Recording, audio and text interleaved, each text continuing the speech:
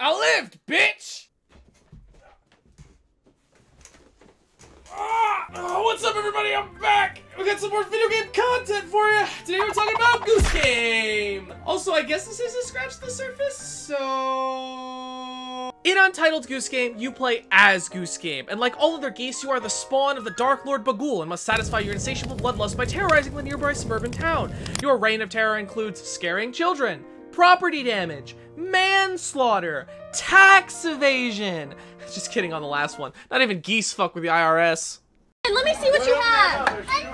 No! As all geese are, you are armed with a to-do list of evil and a very simple control scheme. Basically, you can do anything a goose can do. You can wing, neck, beak, leg, and swim.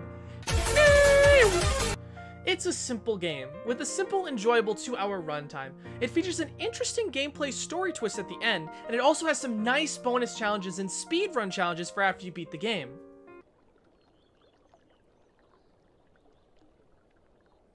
What a thrill.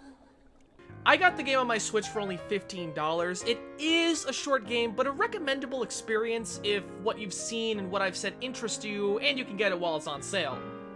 Wow, look at this! Video games let you live out your wildest fantasies, like performing in front of a crowd and getting praised for it. The only complaint I really have is the short playtime and that there's no Canadian goose skin. Those are the real evil ones. Those fuckers hiss!